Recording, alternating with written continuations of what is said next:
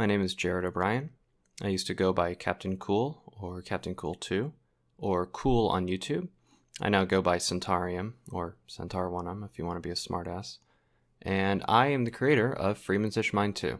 My first interaction with Ross happened about seven months prior to meeting uh, Ian and Robin and Sarah and Curtis and Simon, and was probably a lot less impactful than it should have been. But I, uh, I first reached out to, to Ross in February of 2010 because him and I had a similar issue with demo recording. And I figured, oh, I'll just email Ross. You know, he works on machinimas, which are videos in the source engine for his particular case and I work on speedruns within the Source engine, which you know is also a video. So I reached out to him and said, "Hey, we're having this problem with demo recording. Every time we try playing a demo back, it just crashes." And from there, uh, him and I just started dissecting this, and you know, just talking as if we were actually working on this project together. And to this day, he still comes to me, you know, asking for help. Uh, a few months ago, he emailed me saying, "Hey, I'm looking for someone who can modify some maps for Half-Life 2. Uh, do you know anyone? Unfortunately, I, I didn't. My connections in the modding community for Half-Life 2 are pretty thin these days. But the the fact that he's kept me in the loop for over nine years is fucking incredible.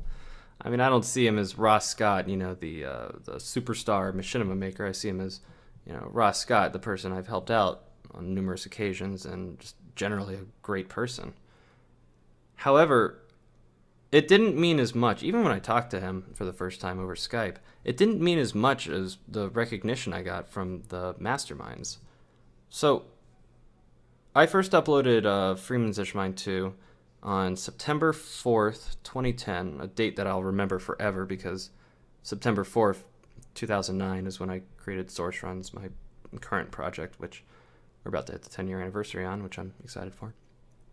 But I created that video. 14 days later, I put up my next video. But on September 15th, Curtis was the first mastermind to post on the video. And I remember just seeing his comment on the video after days and days of frantically checking my uh, my email. And then there it is. Corky064 has commented on Freeman's Ish Mind episode 1, and I was fucking petrified. I opened that email and I saw nothing but praise coming from him. And at that moment, it's like my entire world just flipped. I mean, I was ecstatic. I was like, if I can impress Curtis of all people, uh, the person I thought would would give me the greatest pushback based on what he said in Meeting of the Minds, the, the first one, where he said, "Don't be a Freeman's Mind ripoff."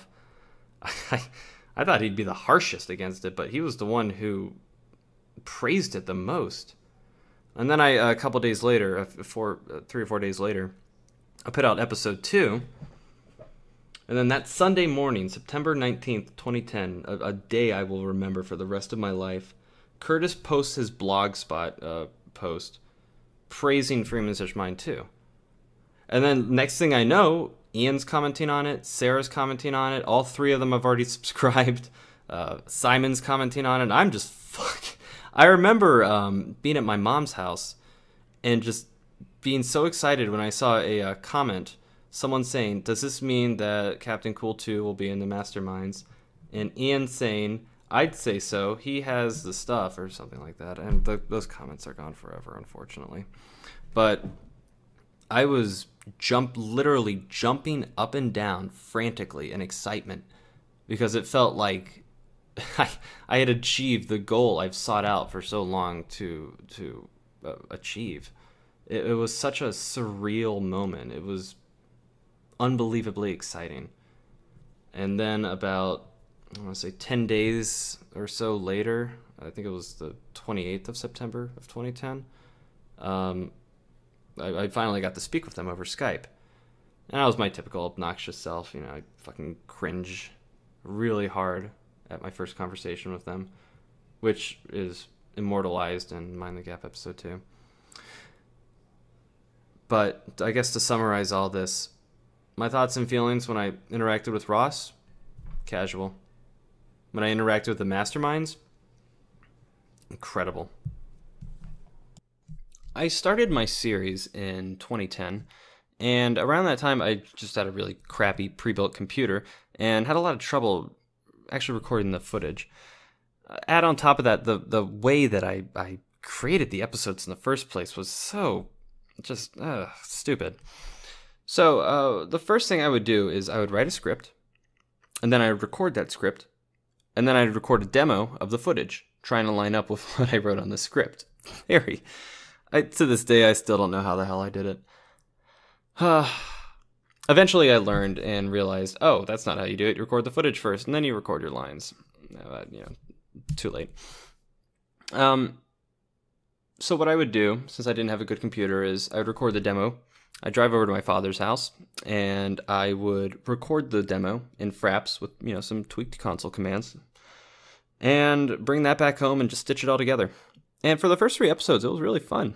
Um, where it started to kind of not become fun was probably around my fourth episode when I had to take my laptop and my microphone, uh, get in my car, and drive out to some remote place and just start recording lines to the footage.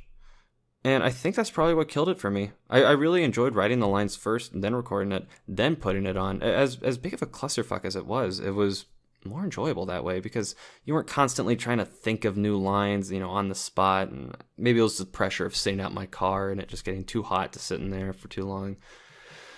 Um, another fundamental problem with the Mind series genre is that it's just you. There's no one there to bounce ideas off of. There's no one there to tell you, "Hey, this sucks. Why don't you try it again?" And you're it's a solo project. More importantly, in the in the machinima itself, it's just you. You know, there's no chance by design. Mind series are a are a monologue. There's no room for for other characters to be introduced, no matter how you want to implement it. And if you do, it's just gonna be corny and cheesy and lame. I mean, um, you could pull it off if you did it right, but you'd basically just be creating a schizophrenic. And the second biggest problem is uh, character development unfortunately, there's not really a whole lot of room for character development. I'm, I'm not going to say that it's impossible. It's just, it's really difficult. Because in these series themselves, you have maybe four or five hours of nonstop uh, commentary. And no one's going to just change like in, in a couple hours. Unless you're like under some psychedelic effect and your mind's being altered, then you're not going to go through some epiphany within four or five hours. And you're definitely not going to really learn anything about yourself in that time period. The thing that made me want to create my mind series the most was not so much, you know, Barney's mind or Shepard's mind or Chell's mind or any of the minds. It was the interaction that I saw between the group of five just a, a bunch of people who just came together from obscurity, who created similar content on the internet, all competing for, you know, uh, the attention on YouTube, which I later found out not a single one of them gave a shit about the popularity. I take that back. Curtis was the only one who cared. Um, seeing the interaction between all of them and the collaboration was the coolest thing to me. And I, I took that as pure inspiration when I was creating my own uh, my own machinima because I wanted to to have that same level of, of collaboration in my own. So I, I I think not so much watching one person series was the uh, the trigger for me. I think if I had to pin it to one thing, it'd probably be the uh, last episode of Barney's Mind, where he, he was able to implement all these, you know, crazy crazy ideas like uh, escaping with flight simulator and having Curtis and I think Simon in it. Was Simon in it? I don't know. It's been so long. Uh, unfortunately, due to how long ago um, I found Freeman's Mind, I I really don't remember what my initial reaction was uh, when I first found it. Uh, all I know is that um, I was rewatching like the the first seven episodes over and over and over, and constantly checking his blogspot page, just just waiting for the next episode to be released. And those first few episodes, like as you were following it, as you were seeing the the episodes come out, was an incredible experience. I mean, it could just be nostalgia, but I mean, I just extremely excited when a new Freeman's Mind episode came out because the level of quality for that day and age on YouTube was not found anywhere else on the on the platform. So I'm gonna guess that my initial reaction was just giddy because it was so engrossing and it was the only reason I subscribed to Machinima on YouTube. As far as seeing Ross continuing the series in 2017, I mean, it, it kind of made sense. You know, it's his most popular video series. It's, you know, it's what put him on the map, and you know, it's how he makes a living. I mean, un- unlike the rest of uh, the masterminds, you know, we didn't make a fucking dime off of our series. He makes an income off of this. Um, however, I don't remember my reaction to well, when I first heard that Ross was continuing the series due to two reasons. First, a mutual friend of Ross and I's uh, spilling the beans a little bit too early, telling me that Freeman's Mind 2 was going to happen, just that he didn't know when it was going to happen. And um, um, an, an, email I got from Ross a few months before he released Freeman's Mind 2 Episode 1. Um, asking me, hey, what what version of Half Life 2 is the most stable? Uh, yada yada yada. And we sent him one of our builds we used to speedrun with. Um, Oh shit, how do I end this? Fuck to the no. Like a big fuck to the no. No, these things were time consuming, they were grueling. It was a nightmare in most situations. Just to kind of ease the pain of of making these episodes, I would just not get I wouldn't get shit faced drunk, but I would get buzzed enough to the point where it, it, it didn't occur to me just how fucking painstaking these episodes were to make eh, it wasn't until I started recording the video first and then recording the audio that it became so painstaking because you're sitting there staring at Sony Vegas's timeline, just thinking, well, got another six minutes to fill. What the fuck am I going to say? So, no. No, it was not easy to make these episodes. Well, it being the source engine, obviously we had issues with demo recording and the fucking interpolation view. I swear to God, I have never seen a poorer implemented demo recording system than I have in Source. I mean, what a broken pile of crap. And Ross had the same exact issue too. Him and I worked on this for a very, very long time trying to figure out what the hell is going on with the interpolation. Like, one of two things happen. Either your NPCs are glitched to hell and just shake and act all weird when you're trying to render out a, a demo, or your screen shakes every time you jump in the air. It's a freaking nightmare. We, we had to go to Valve to get a fix for this, and it still didn't work. And it wasn't until a couple years after I quit my series that, oh, there's a command to fix it. And it's demo rollback legacy, whatever the fuck. So, yeah. And that was just kind of the tip of the iceberg. I mean, there's always struggles with making the series at all. I mean, you know, you're trying to write lines, you're trying to keep it fresh, yada yada yada. But it doesn't help that the source engine was such a pile of garbage with demo recording. I mean, fuck. Well, when I began my series, I went to Best Buy and bought one of these Razer headsets with a, one of those extendable mics that came out, which I thought would be excellent quality. And then I learned that, oh no, you want a condenser mic. Um, which one of my friends lended me his blue snowball. I should have returned that like eight years ago, but it's broken now. So, you know, if he wants it, it's broken. You can have the broken piece of shit. Um, then around 2012 ish, which I think is a little bit after I quit my series, I got the mic you hear now a blue snowball. Wait, a blue Yeti. Right? Yeah. Which, unfortunately, I never really got to use for Freeman's Mind, but it's aided me in pretty much everything else. But the snowball is pretty much what I made the bulk of my episodes with, at least the ones with decent audio quality. Other than that, it was just, you know, my computer, my laptop to render things out uh, until it broke. And I replaced it with another laptop, which also broke. I've also been through 11 phone screens, and I'm not even joking about that. And that's just for the iPhone 6 I have now. I don't know how many phone screens I've replaced. Oh, God.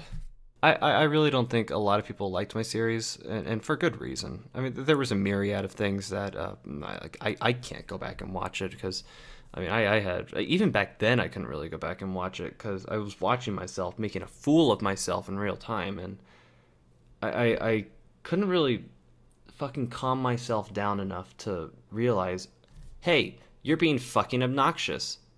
Also, stop interrupting people and mind the gap. I mean, fuck. I I, think people uh, it wasn't so much the series they didn't like, but just kind of uh, me that they didn't like. and I'm not trying to make this a woe is me thing. I'm just, uh, I mean, looking back, you know, in perspective, it's understandable if people didn't like it, and the people who did like it, uh, why? it wasn't good. I don't even know how the fuck I was ever initiated into the masterminds. I'm not really sure why I stopped making my series. I think I was just disappointed in the results that I had produced. I didn't really enjoy making the series anymore, and I just I just wanted to quit, really. You know, I mean, it's like a marriage that's starting to fail. Do you really want to keep putting in that effort when you can just ditch someone, go with someone more suitable for you? That was a really shitty analogy.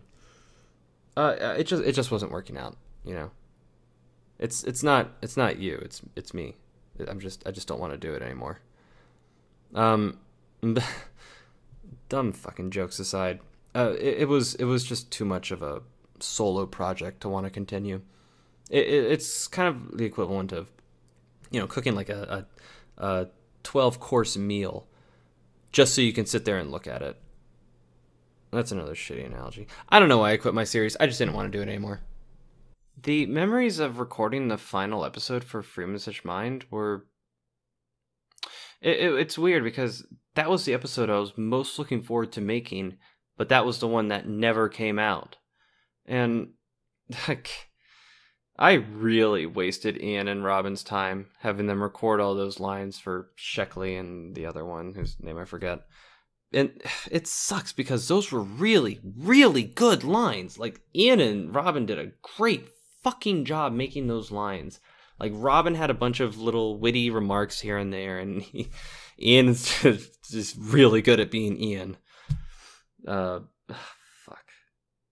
I, I'm gonna probably kick myself for the rest of my life for a wasting their time the way I did, and b never putting their hard work to good use. And fuck, I've got to find those lines. I'm gonna do that now. I think the thing that made me want to make my Mind series the most was not so much the individual Mind series, but the interaction and the. Oh, nice work, Simba. My cat knocked my keyboard over. Where was I? There, were, it was the Source engine. There are technical glitches up the ass when it. You done, kitty cat? Hey, what do you want? You're interrupting me. Being very rude. Oh, don't, no. Oh, you're coming up here, aren't you? Uh, what do you want? Go away. Now you're blocking my screen. What do you want? Go away.